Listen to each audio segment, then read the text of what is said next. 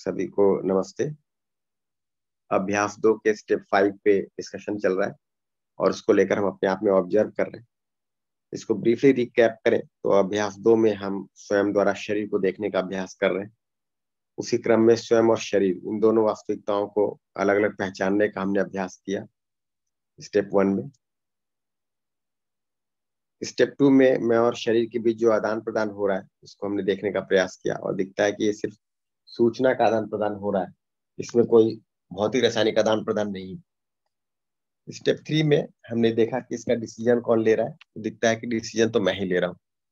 चाहे शरीर को संकेत दे रहा हूँ या शरीर में होने वाली संवेदनाओं को पढ़ रहा हूँ, अल्टीमेटली डिसीज़न तो मैं ले रहा हूँ, है ना? शरीर में कोई डिसीज़न मेकिंग नहीं है। इस चीज़ को हम स्टेप थ्री में ऑब्ज़र्व करते रहे। स्टेप फोर में हम इस बात को देखते रहे कि मेरे और संवेदना की कुछ दूरी है। तो ना तो मैं संवेदना हूँ, ना संवेदना में हूँ, ना संवेदना मुझमें है, संवेदना मुझसे बाहर है। मेरे और संवेदना की दूरी का मतलब मेरे और संवेदना मुझसे बाहर है। और मैं उसको निर्णय पूर्वक पढ़ता हूँ।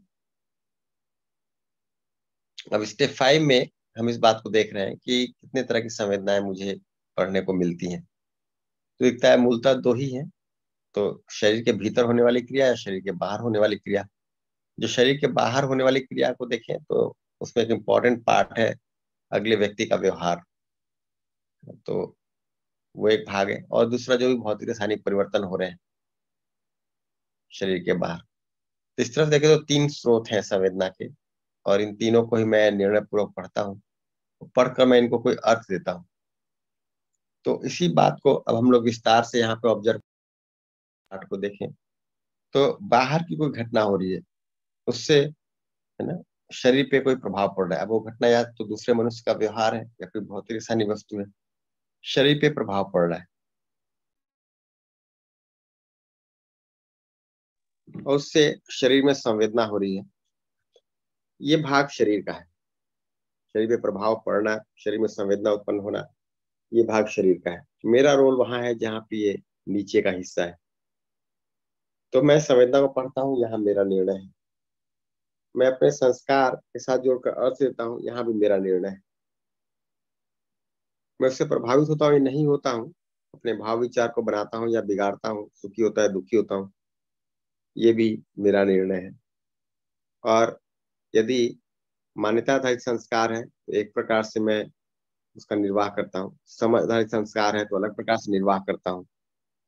तो मैं प्रतिक्रिया पूर्वक यानी मान्यता आधारित संस्कार पूर्वक या ज़िम्मेदारी पूर्वक समझ आधारित संस्कार पूर्वक प्रस्तुत होता हूँ, निर्वाह करता हूँ। और ये भाग मेरे अंदर ही हो रहा है।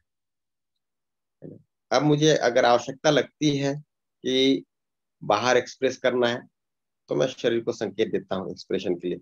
नहीं तो नहीं देता हूँ। कि जैसा मैं शरीर को संकेत देता हूँ, शरीर वैसा करता है और उससे बाहर अभिव्यक्ति होती है। तो आप पाएँगे कोई भी ऐसी घटना होती है, जिसमें ये नौ स्टेप्स शामिल रहते हैं। तो शरीर में प्रभाव पड़ना शरीर में संवेदना होना तो उसके बाद जो तीन चीज़ें हैं, है ना? और यहाँ जो चार चीज़ें लिखी हैं। तो इस बात को हम बारीकी से ऑब्ज़र्व कर सकते हैं कि कोई भी एक्सप्रेशन जब बाहर होता है, उसके पहले ये सारी घटनाएँ, सारी क्रिया मेरे अंदर हो चुकी होती है।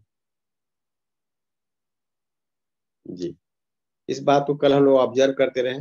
इसको लेके यदि किन्हीं का कोई प्रश्न हो तो रख सकते हैं। कोई शेयरिंग हो तो रख सकते हैं। तो प्रश्न ऐसा था कि हमारे अतीत को हम कैसे उस पर प्रक्रिया करें? और वो करना उपयोगी होगा या नहीं? या कैसे करना उपयोगी होगा? अतीत में क्या प्रक्रिया करनी है? फॉर एग्ज़ाम्पल जैसे मुझे एक ऐसा दिख रहा है कि क्या मेरी मान्यता है? ये एक अगर हम लिस्ट कर दें कि अब अब तक जो हमने किया है, उसमें हमारी क्या मान्यता है और उससे हमें कैसा फ़ायदा मतलब फ़ायदा हुआ है, उपयोग हुआ है या कभी कभी परेशानी भी हुई है।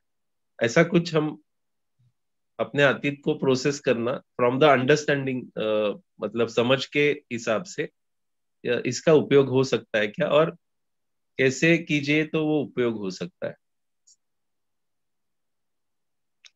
इससे ये होगा कि अतीत में जो भी घटनाएँ हुई घटनाएँ तो हो गई। हाँ। बट जिन संस्कारों के आधार पर हमने निर्णय लिया। जी। उन संस्कारों का तो मूल्यांकन करेंगे उसमें परिमार्जन तो करेंगे ही। जी। वो संस्कार अभी भी हमारे अंदर बचे हुए हो सकते हैं और होंगे ही। क्योंकि जब तक वो समझ से रिप्लेस ना हो जाए वो तो बचे ही रहेंगे। जी। ठीक? और मूल रूप से दो ही तरह से संस्कार है। या तो है ना? शरीर से संवेदना से सुखी होने वाला संस्कार है। या बाहर से कोई भाव पाकर सुखी होने का संस्कार है। जी। उसको तो मतलब करना है। तो संस्कार के रूप में देख सकते हैं अगर वो एक्सरसाइज करना है तो के है ना? हाँ मतलब उसका हम जाके ज़रूर मूल्यांकन करेंगे। आप कोई उदाहरण ले तो मैं उसको बता सकता हूँ। उसका बिल्कुल हाँ, हाँ। मूल्यांकन करेंगे। हाँ।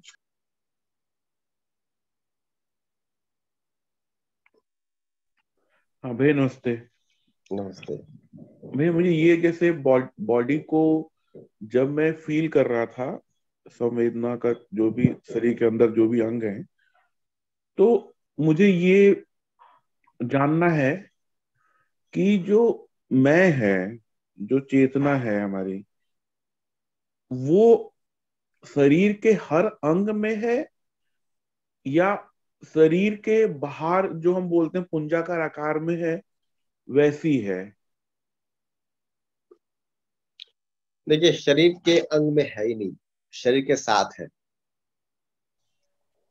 तो उसका जो विस्तार है, शरीर का जो आकार है, उस पूरे आकार में फैला हुआ है। और चेतना के बजाय हम सीधे मैं ही कहें, चैतन्य कहें, है ना? तो चेतना से लगता है कोई, शरीर का कोई गुण है। तो चैतन्य इकाई जो मैं है वो पूरे शरीर के आकार में फैला हुआ है। शरीर किसी अंग में है ऐसा नहीं। पूरे शरीर के आकार में फैला हुआ है। पूरे स्थान को घेरा हुआ है। इसको हम अपने आप में ऑब्ज़र्व कर सकते हैं। नहीं अंग में नहीं इसलिए मैं कह रहा हूँ तो कि ये ना लगे कि हाँ। शरीर का एक भाग है। हाँ।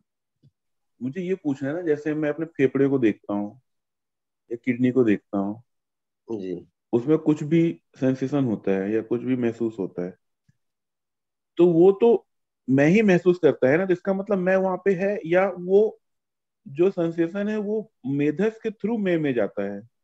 हाँ मेधस के थ्रू मैं में जा रहा है।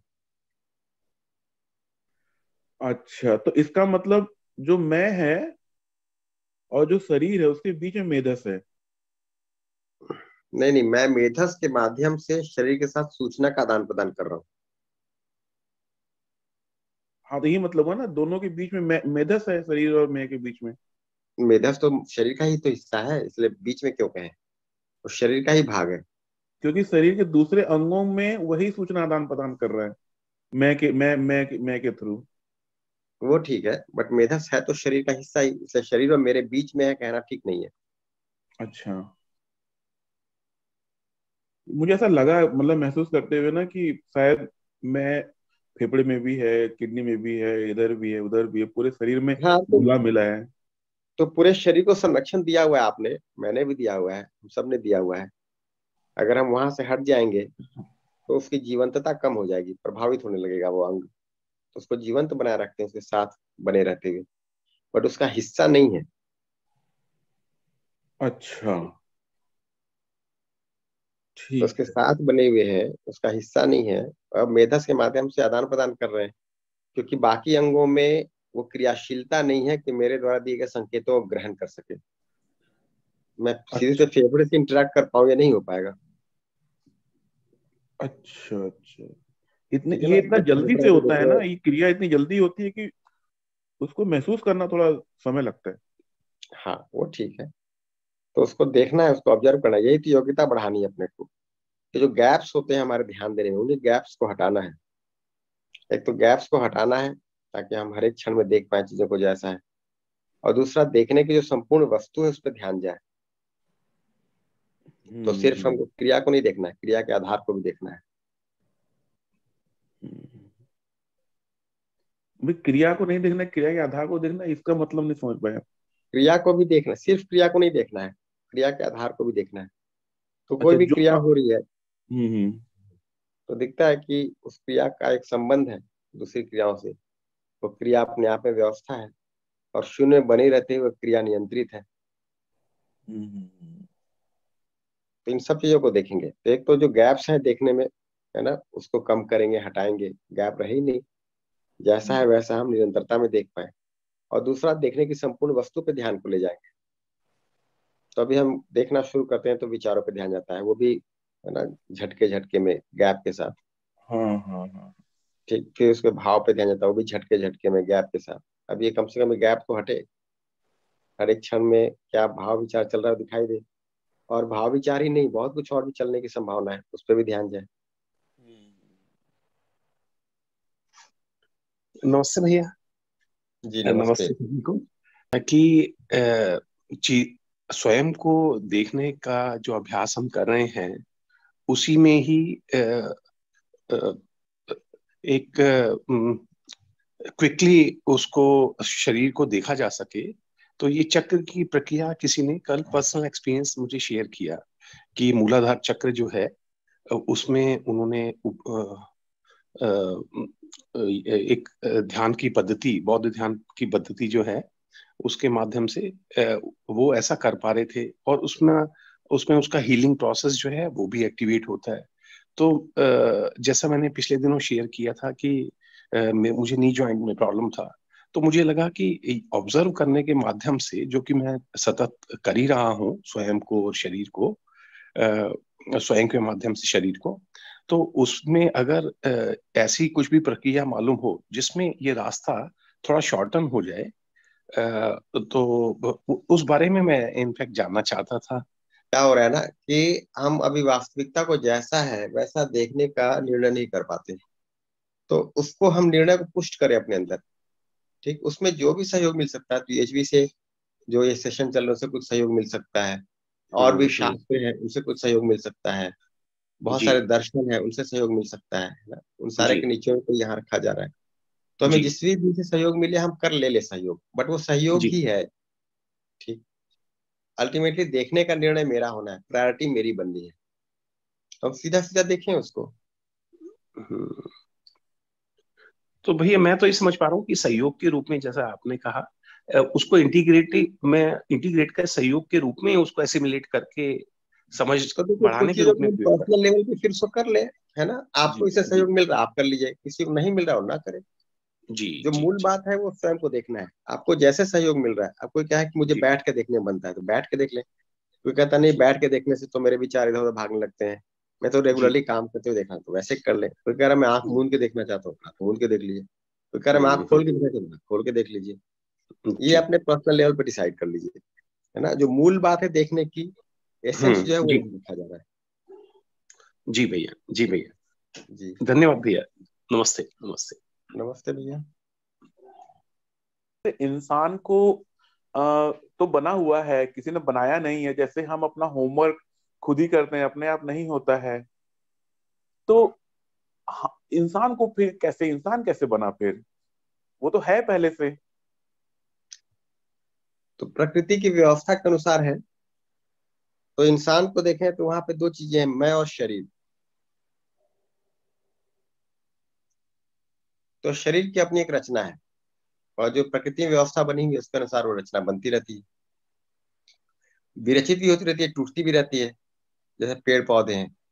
तो अब देखे तो मिट्टी से बीज में अंकुरन हुआ अंकुरन से पौधा बना, पौधे से वृक्ष बना। वृक्ष वापस झड़कर मिट्टी का एक हिस्सा हो गया। व्यवस्था प्रकृति में बनी हुई है। उसी तरह से हमारे शरीर के लिए व्यवस्था बनी हुई है। भ्रूण से, है ना, शिशु उत्पन्न हुआ, फिर शिशु से वयस्क हुआ, वयस्क बूढ़ा हुआ, फिर वह एक समय के बाद शरीर नष्ट हो गया, शरीर मृत्यु को प्राप्त हो गया। अब यहाँ पे दिखता है कि मानव में सिर्फ़ शरीर ही नहीं है, मैं भी है, और मैं एक समय पे एसोसिएट होता है। तो अभी भी हम एसोसिएटेड ही हैं। हम शरीर के ना तो हिस्सा है, ना शरीर मेरा हिस्सा है। तो जब मानव, है ना गर्भ में होता है, शिशु गर्भ में होता है तो एक समय के बाद जो ब्रेन है, इतना डेवलप हो जाता है कि कोई सेल्फ उसका को एग्जिस्ट कर सकता है। ऐसा चार से पाँच महीने के बीच में होता है। उस समय एक सेल्फ को एग्जिस्ट करने लगता है। फिर उसमें बहुत सारी एक्टिविटीज़ बढ़ जाती है। क्योंकि तो सेल्फ एसोसिएट हो गया। और वो सेल्फ एसोसिएटेड रहता है टिल डेथ जब डेथ हो गया, शरीर मिट्टी में मिल गया, हवा पानी में मिल गया सेल्फ बना रहा। ये प्रकृति में व्यवस्था बनी हुई है। इसी के अनुसार शरीर यात्रा चल रही है। इसी के अनुसार समाज, परिवार चल रहे हैं अच्छा नहीं, इसका जैसे सवाल ये है ना कि जैसे स्कूल में दिखा दिया गया कि पहला एडम और ईव थे तो इसका दिमाग ना वहाँ पे जाके अटक गया है कि पहला मानव कौन था? क्योंकि हम तुमसे पाँच बार पूछ चुकी है। पहला मानव कौन आया? पहला कहाँ से आया? कैसे आया? देखिए, पहला मानव का मतलब हुआ कि जब कोई सेल्फ किसी बॉडी के साथ एसोसिएट हुआ, है ना, और पहला ह्यूमन बींग बना। तो उसमें देखेंगे अगर आप पूरी प्रकृति की व्यवस्था को देखेंगे तो पाएँगे कि एक एनिमल भी जो होता है वहाँ पे भी एक सेल्फ और एक बॉडी है। ठीक? और एनिमल में भी देखेंगे तो एनिमल के सेल्फ में डेवलपमेंट की स्टेजेस दिखाई देते हैं। किसी एनिमल का सेल्फ कम डेवलप्ड है किसी एनिमल का सेल्फ ज़्यादा डेवलप्ड है। जैसे आप अगर बंदरों को देखें है ना? और उसमें भी कई प्रकार के बंदर हैं। तो उनका सेल्फ काफ़ी डेवलप दिखाई देता है।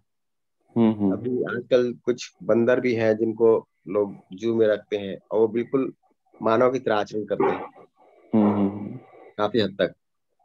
ठीक लेकिन उनको मानव तो हम नहीं कह रहे है ना? उनको हम बंदर की कैटेगरी में रख रहे हैं। तो ये जो इकाई है ये इसका जो सेल्फ है ये और डेवलप होकर मानव शरीर को चला सकता है।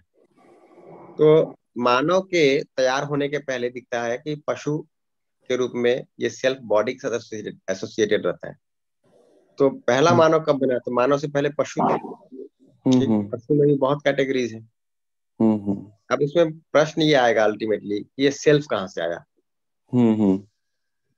ठीक है ना? तो बॉडी का तो दिखता है इवोल्यूशन प्रोसेस है बॉडी का। तो पढ़ाया भी जाता है।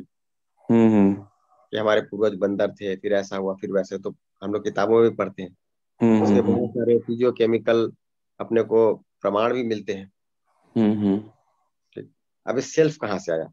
हम्म, तो एक संभावना तो ये है कि ये जो इकाइयाँ हैं जिनसे जड़ इकाइयाँ बनी हुई है जिसको हम परमाणु कहते हैं सबसे छोटी इकाई जिससे जड़ इकाइयाँ बनी हुई है। अगर उस परमाणु में कोई ऐसा परिवर्तन हो जाए जिससे उस परमाणु की रचना आगे कभी बदले नहीं। ये परि, ये परि, ये परिवर्तन संभव है। कि अभी हम देखें तो एटम्स में जो सब एटॉमिक पार्टिकल्स हैं उनका एक्सचेंज होता रहता है हम्म। घटते बढ़ते होते हैं। बट किसी पॉइंट पे ऐसा हो सकता है उनका कन्फिग्रेशन कंप्लीट हो जाए तो एटम का कन्फिग्रेशन कंप्लीट हो जाए ताकि उसकी रचना में आगे कोई परिवर्तन ना हो। हम्म, हम्म। तो ऐसा जब होता है तो इसकी संभावना है कि एक कॉन्सियस एटम तैयार हो जाए। यानी एक सेल्फ तैयार हो जाए। अच्छा अच्छा।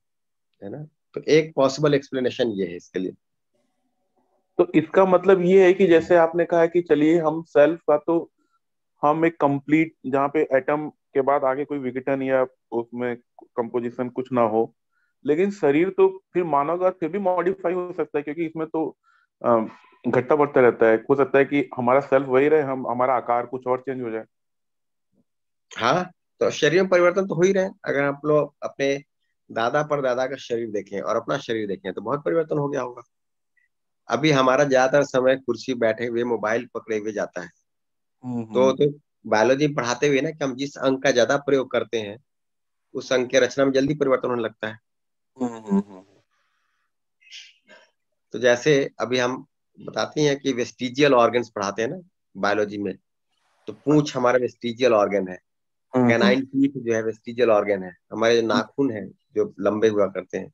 हम्म, हम्म। तो अब इन हम अगर हमारा शरीर पशु की तरह होगा तो इनका ज़्यादा प्रयोग करते थे जैसे बंदरों का देखें। हम्म, पूछ होते हैं है ना? दांत से काट के खाना है तो उनके दांत के बनावट अलग प्रकार है पंजों की बनावट अलग प्रकार से होती है। तो हमारे में वो चीज़ें घटती जा रही है। ठीक है भैया कुछ कुछ समझ में आया इसको।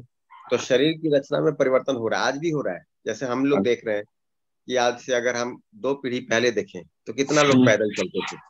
हम्म, हम्म, हम्म। पैदल चलते थे तो उनके पैरों की बनावट कमर की बनावट है ना?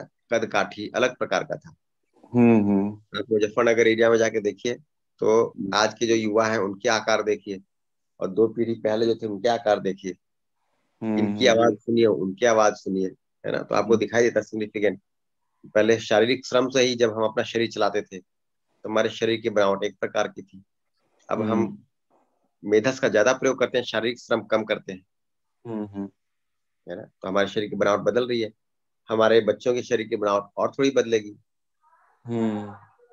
कंप्यूटर पे अगर हमको काम करना पड़े है ना बारह बारह घंटे तो हम लोग थक जाते हैं। अगर अगली पीढ़ी को वही काम करना है तो शरीर की बनावट उसी अनुसार हो जाएगी।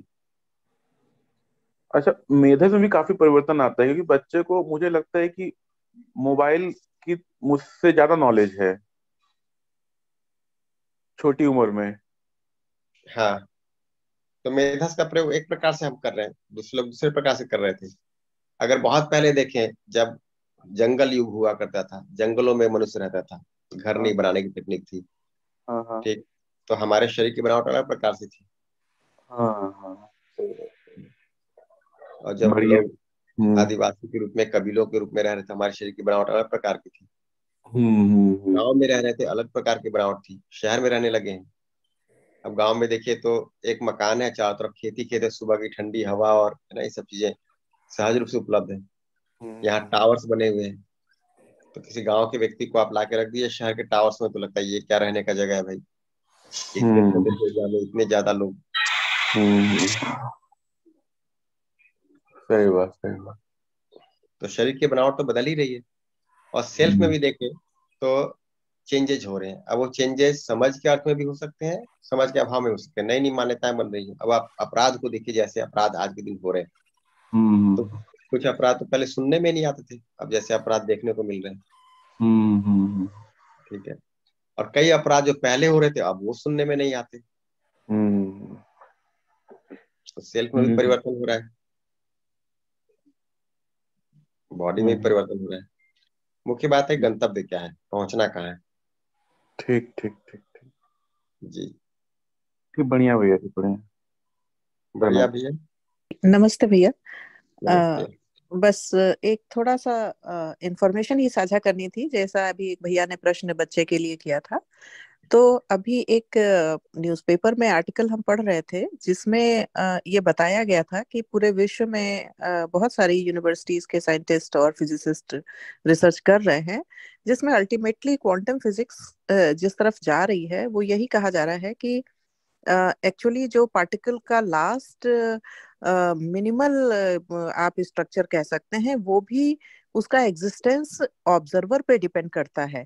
एंड उनका अल्टीमेट जो डिसीज़न जा रहा था वो इस तरफ़ था कि it doesn't exist actually and maybe that the consciousness is the only thing which exist and which was the foremost और उसी कॉन्शियसनेस लेवल से ही सारी चीज़ें निकल करके आई हैं। तो अभी बहुत सारी रिसर्चेस हो रही हैं तो बच्चे के जो ये प्रश्न है वो अगर चाहें तो इस तरह की चीज़ों को फॉलो करके अपने एनालिटिकल अंडरस्टैंडिंग और एक वैज्ञानिक पद्धति से उसको समझने का प्रयास कर सकते हैं। बस इतना ही शेयर करना था। थैंक यू भैया। अभी बिल्कुल ना करें।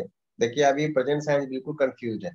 क्वांटम में ये निकल कर आया है कि अनसर्टेनिटी जी अनसर्टेनिटी और ये भी भैया उसमें अगर मैंने ठीक से पढ़ा हो या समझ में आया हो कि वो जो पार्टिकल है उसका नेचर कभी पार्टिकल कभी वेव और कभी एनर्जी दैट मीन्स उसका ट्रू स्ट्रक्चर जैसी कोई चीज़ उनको अभी ऑब्जर्वेशन में नहीं आ पा रही है।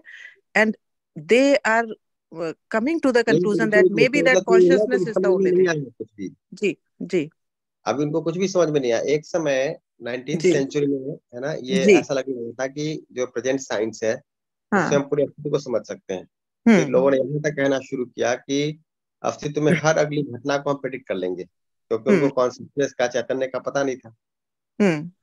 अब जड़ की सीमा में ही उनको बहुत सारी कठिनाइयाँ दिखने लगी। जब अनसर्टेनिटी की बात हुई उसमें खासतौर पर एक डबल स्लिट एक्सपेरिमेंट किया गया यंग के द्वारा तो उससे उसमें दिखने लगा कि कभी वेव लगता है कभी पार्टिकल डिपेंड करता है ऑब्जर्वर है कि नहीं है। यानी कि जो ऑब्ज़र्व है वो ऑब्जर्वर पर डिपेंड कर रहा है। तो अभी तो कोई नहीं सेटल कर पा रहे। अब उसमें क्या हुआ कि जब नहीं सेटल कर पाते हैं हम जड़ के दायरे में तो हम किसी तरह से वहाँ से रास्ता निकालते हैं चैतन्य को जोड़कर। वो भी चैतन्य बहुत स्पष्ट नहीं है कॉन्सियसनेस को जोड़ते हैं उसमें। ठीक? बट वो इंटरप्रिटेशन ही है उसको वैलिडेट तो कर नहीं सकते अपने साइंटिफिक मेथड से। तो इतना ही कह रहे हैं कि हमको नहीं समझ में आ रहा है। जी। हो सकता है कि ऐसा हो सकता है कि वैसा हो बट जो हो सकता है उसको हम वैलिडेट भी नहीं कर सकते। तो उनका कहने का मतलब तो ये हुआ कि हमारे ज्ञान हमारे दायरे के बाहर है। जी। और यहीं पर कह रहे हैं उसके दायरे के बाहर जी बिल्कुल बिल्कुल भैया। लेकिन इसमें इतना कि बच्चे को ज्ञान के लिए उधर न जाकर स्वयं की ओर देखना अपने ऊपर ध्यान देना ये ज़्यादा महत्वपूर्ण है। नहीं तो वहाँ जाके तो यही निकलेगा कि ना कुछ समझा जा सकता है न समझा जा सकेगा। लेकिन भैया भैया इसमें जो वेदांतिक थ्योरी है वो उस पर बिल्कुल सटीक बैठ रहा है क्या हुआ? अब हम एक तो अब क्वांटम की बात कर रहे थे ना? हाँ हाँ तो क्वांटम तो, जी। हाँ क्वांटम में तो अनिश्चितता दिख गई। अनिश्चितता है? हम्म। और ये भी अस्पष्टता है। हम इस दायरे में तो निष्कर्ष नहीं दे पाएँगे। जी। है ना? रिलेटिविटी को भी नकार नहीं पा रहे क्वांटम को भी नकार नहीं पा रहे दोनों को आपस में बैठा नहीं पा रहे। जी। तो अभी तो संकट है वहाँ पे। हम्म। ठीक है? उसे बराबर रिसर्च कर रहे हैं और बेसिकली इसी पॉइंट पे जाकर उनको कॉन्सियसनेस को यंत्र से नहीं देखा जा सकता इस विधि पे आना पड़ेगा। आज आए चाहे कल आए क्योंकि आप कॉन्सियसनेस के प्रभाव को तो यंत्र से देख सकते हैं कॉन्सियसनेस। को यंत्र से नहीं देख सकते आप हम्म। उसको जितनी ईमानदारी से स्वीकार ले उतना अच्छा उतना समय बचेगा पैसा बचेगा शोध का हम्म। ठीक है ना अब क्या होता है कि जब वहाँ फंस जाते हैं तो फिर हम कुछ टेक्स्ट बुक लेकर आते हैं जिसको हम पहले से ही नकारे रहते हैं चैलेंज कर रहे होते हैं तो कहते हैं वेदांत के आधार पर हो जाएगा इस आधार पर हो जाएगा उस किसी और आधार को ले आते हैं उसको भी जाँच नहीं पा रहे उसको भी एक्सपेरिमेंटली अपने साइंटिफिक मेथड से टेस्ट नहीं कर पा रहे ठीक? वो बस एक इंटरप्रिटेशन है। उससे भी कुछ नहीं निकलेगा। ये बात तो पिछले 200 सालों से हो रही है। क्योंकि जब हम यहाँ फंसते हैं तो वहाँ जाते हैं वहाँ फंसते तो यहाँ आते हैं। क्योंकि इंटरप्रिटेशन ही रह जाएगा। ये बात हो रही है कि जो भी इंटरप्रिटेशन है जो यहाँ लिखा हुआ है ना आप एक अर्थ दे रहे हैं उसको। हम्म। आपका अपना समझ वहाँ बना हुआ नहीं है। तो जो अर्थ देंगे उसमें शंका हमेशा लगी ही रहेगी। क्योंकि जो अर्थ दे रहे हैं, अपने संस्कार के साथ जोड़कर दे रहे हैं। और इसमें समझना शामिल अगर नहीं है तो अर्थ बदलता रहेगा। कुछ ना कुछ हम कहते रहेंगे।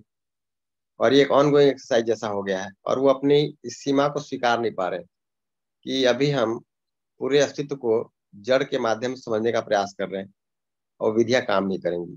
क्योंकि अस्तित्व में शून्य है, उसको जड़ के माध्यम से नहीं देख सकते। चैतन्य है, उसको जड़ के माध्यम से नहीं देख सकते। तुम्हें तो शुद्ध दृष्टा ही होना बनता है। ये बात जब तक हमको स्पष्ट नहीं है, तब तक, है ना, कोई भी हम प्रयोग करें, उसकी सीमा दिखेगी। अब वो ऐसे ही हो गया है कि उस जड़ की सीमा में हम संपूर्ण को देखने का प्रयास कर रहे हैं और स्वीकार भी नहीं पा रहे कि नहीं देख सकते। तो नए नए इंटरप्रिटेशन देते हैं। तो है ना, फिर कभी होता है कि साइंटिफिक मेथड विल वर्क कभी होता नहीं मिस्टिसिज्म पे जाते हैं मिस्टिसिज्म से फिर साइंटिफिक मेथड पे जाते हैं और ये दोलन चलता रहता है। भैया लेकिन एक प्रश्न ये ज़रूर उठता है कि जैसे जो प्रकृति में हमने कहा ना प्रकृति में एक ऑर्डर है तो उस ऑर्डर को मेंटेन करने वाला कोई तो व्यवस्था होगी। ऑटोमेटिक ऑर्डर है ये चीज़ थोड़ा सा समझने में दिक्कत है क्योंकि वो ऑर्डर लगातार चेंज हो रहा है। बिहेवियर प्रकृति का चेंज हो रहा है। जी। ये कोई तो होगा ये हमारा अपना एक दिया हुआ एक अर्थ है। हम ये क्यों नहीं देख पाते कि शून्य में बनी रहते हुए हर इकाई उर्जित है नियंत्रित है परस्पर लेकिन किसके द्वारा? किसके द्वारा नियंत्रित है अगर है तो? किसी के द्वारा होना क्यों ज़रूरी है? इसलिए क्योंकि हमारे ऑब्जर्वेशन में ऐसी कोई चीज़ संसार में नहीं आती है जो स्वतः ही प्रकट हो गई हो और स्वतः सब कुछ होने लगा हो। किसी ने उसको बनाया हुआ होता है ये मोबाइल है तो कहीं से किसी ने शुरू किया। तो ऐसा भाव आता है। ना। जी। तो हम अपने ऑब्जर्वेशन को चैलेंज क्यों नहीं करते हैं? नहीं अगर ऑब्जर्वेशन को भी हम चैलेंज करें तो इवन सेल्फ में भी जो संस्कार बन रहे हैं वो भी हम ऑब्ज़र्व करते हैं कि हाँ ये बन रहे हैं कहीं से और वो हमारे प्रयास के द्वारा हम इंस्ट्रक्ट कर रहे हैं तो वो बन रहे हैं। तो बिना हमारे इंस्ट्रक्शन के तो हमारा स्वभाव भी नहीं बनता। तो इतनी बड़ी प्रकृति इतना सारा व्यवस्था कैसे बना? वो प्रश्न थोड़ा बार बार मन में आता है। जी तभी क्या हुआ? कि एक साइंस फंसा हुआ है प्रेजेंट साइंस वो जड़ क्रिया को लेकर, है ना? हम थोड़ा आगे बढ़े, हम जड़ और चैतन्य दोनों क्रियाओं को देख रहे हैं। बट जो क्रिया शून्य है, उस पर ध्यान ही नहीं गया है, हमारे ऑब्जर्वेशन में ही नहीं है। तो उसके लिए भी हम ओपन रहे कि इस क्रिया शून्य को भी देखना है। अब क्रिया शून्य को न देखते हुए, क्रिया के दायरे में जब भी हम चीज़ों को एक्सप्लेन करने जाएँगे तो जितना हमारा पहले से ऑब्जर्वेशन है, उसके बेसिस पे करने का प्रयास करेंगे, वो एक अलग तरह का इंटरप्रिटेशन की प्रॉब्लम है। साइंस में एक इंटरप्रिटेशन है कि वहाँ फंस गया है तो है ना, हम किसी तरह से इसको ले आते हैं, चैतन्य को ले आते हैं, चेतना को ले आते हैं। हम अपने दायरे में फंस जाते हैं, क्रिया के दायरे में। ठीक तो हम कोई और कर्ता ले आते हैं ऊपर से, और वो रैशनल भी नहीं फिट होता। अगर उसको कई बार हम लोगों ने उस पर बात भी किया है कि अगर हम तर्क के बेसिस पे भी देखें, जैसे हम कहते हैं कि सब कुछ करने वाला कोई है जो ऊपर से कर रहा है। ठीक है ना? तो जितने अपराध हो रहे हैं, फिर वही कर रहा है। जितनी अव्यवस्था फैल रही फिर वही कर रहा है। ये जो सुंदर रचना अगर वही बना रहा है तो बिगाड़ने वाला भी वही है। फिर ये हम क्यों नहीं कहते? हैं भैया इसके बारे में भी बहुत अलग से चर्चा हम लोग कभी करेंगे जब व्यक्तिगत रूप से मिलेंगे। उसके भी प्रश्नों के कुछ उत्तर हैं जिन पे हम लोगों को चर्चा करने की आवश्यकता होगी अपनी समझ बढ़ाने के लिए। जी। ठीक बात है। तो एक तो ये हम ओपन रहे कि क्रिया शून्य भी है सिर्फ़ क्रिया नहीं है। तो क्रिया शून्य को भी हम देखेंगे समझेंगे। इसको भी हम अपने दायरे में जोड़ लें समझने के दायरे में। और फिर हम जो अभी इंटरप्रिटेशन हैं उसको हम विश्लेषण करेंगे उसको समझने का प्रयास करेंगे। बढ़िया दीदी। तो बहुत Thank अच्छा। थैंक यू भैया। इसको हम लोग ऑब्ज़र्व करें अपने आप में। और यही हमारे लिए असाइनमेंट है आज के दिन। फिर हम लोग कल इस पर और चर्चा करेंगे। सभी को धन्यवाद सभी को नमस्ते।